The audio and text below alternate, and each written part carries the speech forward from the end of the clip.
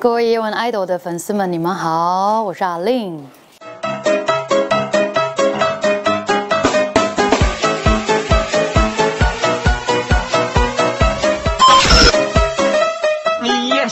当制作人和当歌手最大的区别是什么？就是矛盾，因为太多想要唱的，然后时间很少。当中也收录了《为单身》《通通我爱你》等情歌。你觉得爱情是轰轰烈烈好，还是细水长流好？有时候疯狂，有时候细水长流。如果不唱歌，你会选择去干嘛？我应该会去继续念我的医医学医学校，当医生。现场演出如果忘词怎么办？很简单，歌迷们。唱歌时的习惯习惯性动作是什么？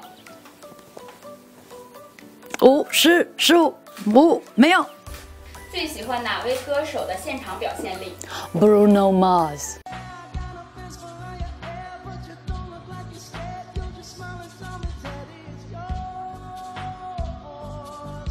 自己的歌里面最喜欢的歌词是哪一句？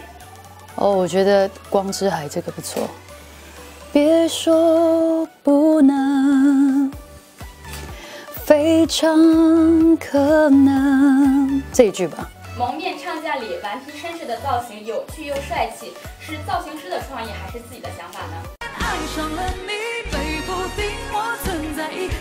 是我，我一直想要把中性的打扮能够呈现出来，而且也想要那个让大家不知道我是谁。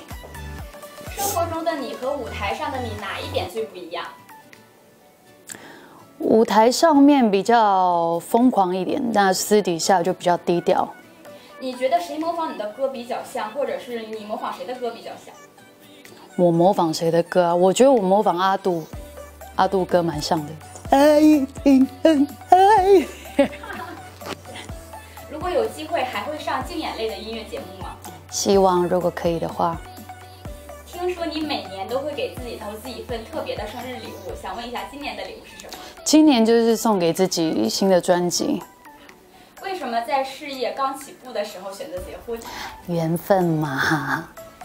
如果可以换脸，最想和哪位最想和哪位艺人换脸？林宥嘉。用一种动物来形容自己。应该是是猫吧。最喜欢听别人。夸自己什么？你身材很好。谁的演唱会你会愿意无论多贵都会买票去？张惠妹。说三个自己的缺点。懒惰，漂亮，懒惰。